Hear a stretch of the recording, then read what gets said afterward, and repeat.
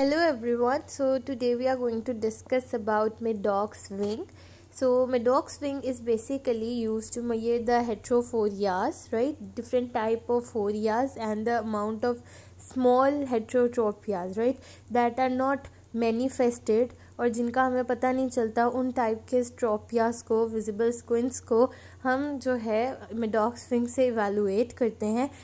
When the patient has a normal res- uh, retinal correspondence right जो patient B S V attain है उसके normal corresponding points achieve हैं उस case में हम मेडॉक्स विंग को यूज़ करते हैं हेट्रोफोरियाज को मैया करने के लिए and these are only done to मैया the near phorias right this is only done for the near forias at near and the distance for the measurement of these type of forias is 33 centimeter okay so now what is the principle of the Madoc's wing.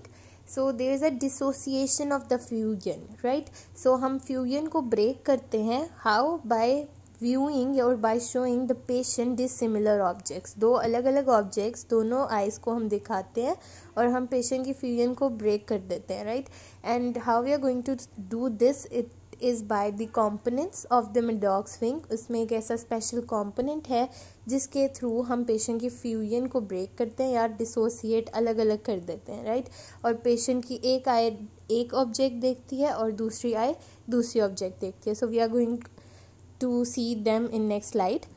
So, here we are that what are the components of the Madoc's wing?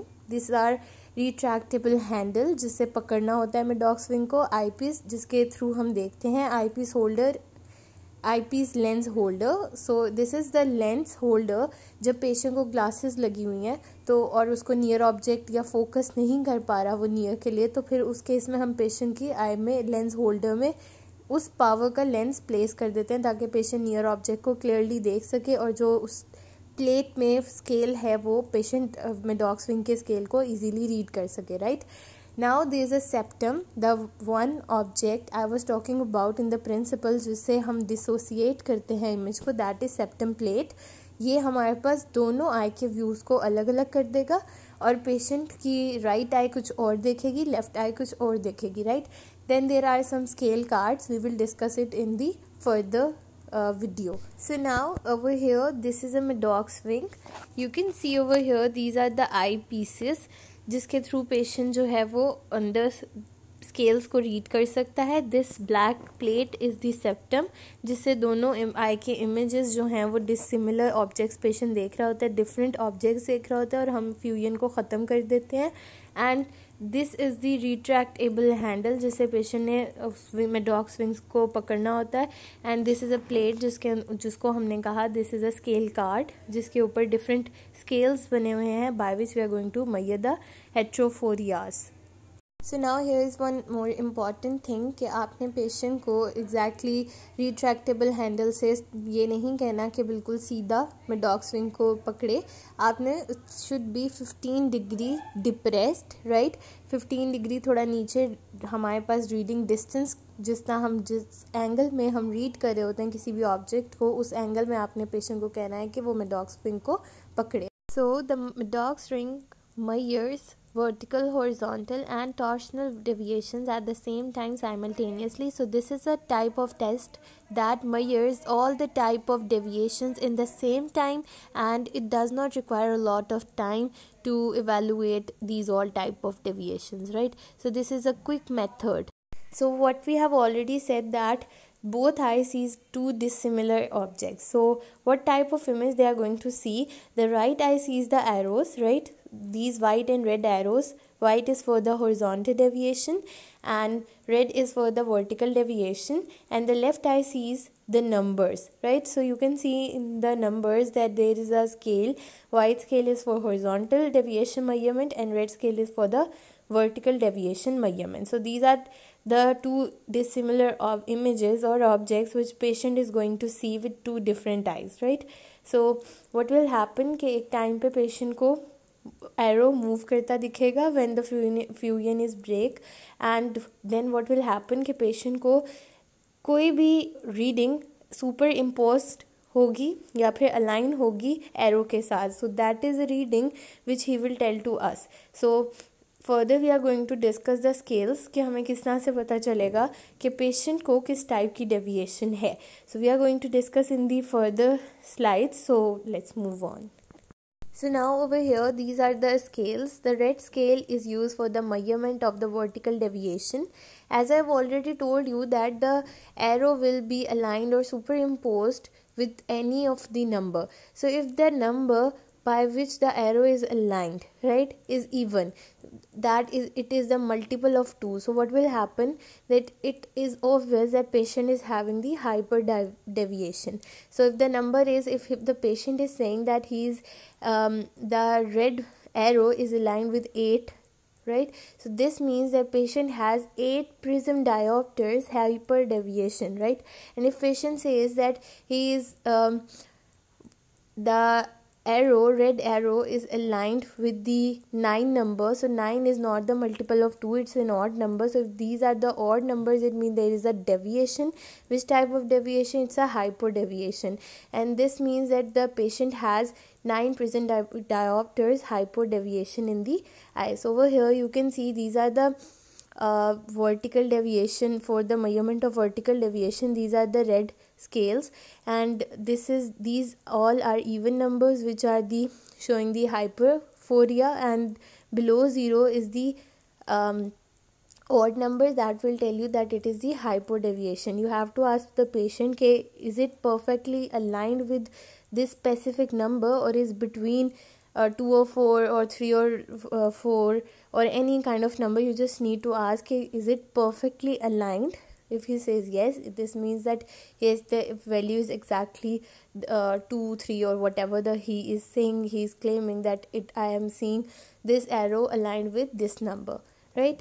So now in the white scale what is this used for? It is used for the measurement of the horizontal deviation. As right i will see the white arrow and left i will see the numbers. So we will ask patient that which uh, which number is aligned with the arrow.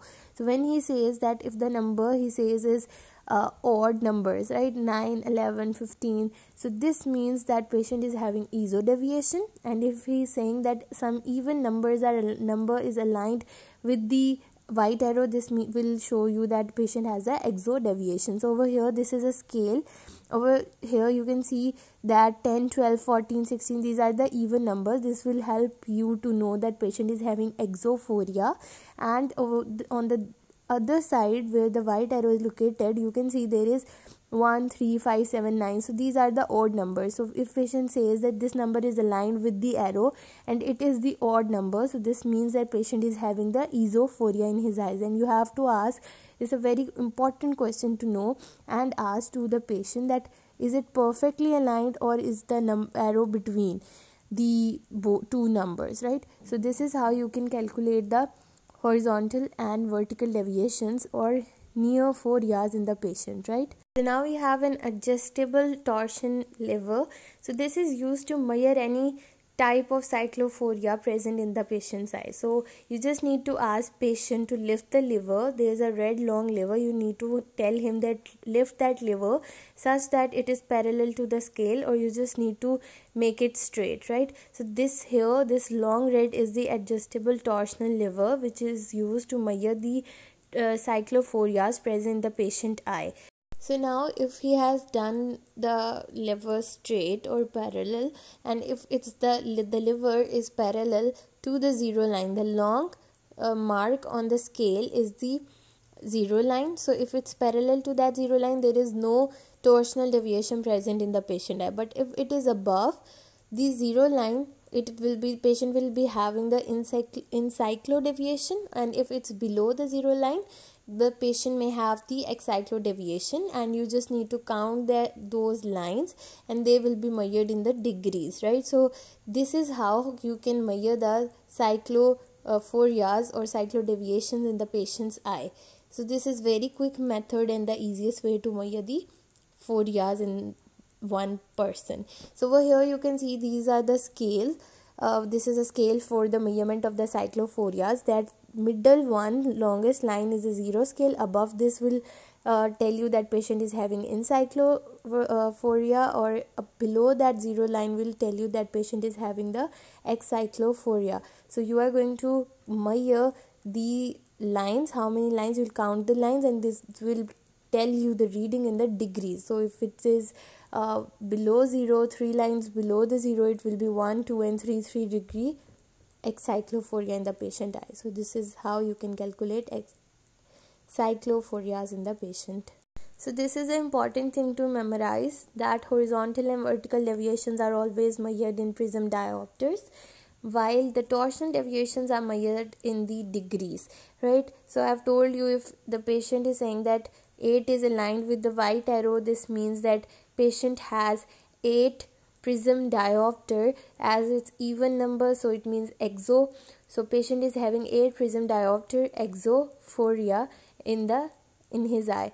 And patient is uh, if there is any torsional deviation which is below 3 line below the 0 line so this will be 3 degree excyclophoria in the patient's eye right? So this is how you can measure and you can use Maddox wing for the near phorias and this was all about today's lecture. If you have any query or problem regarding Maddox rod comment in the comment section. Thank you so much